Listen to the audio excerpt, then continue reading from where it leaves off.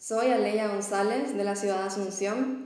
Tengo 22 años. Voy a interpretar Valle de Agustín Barrios y quiero formar parte del ensamble Puro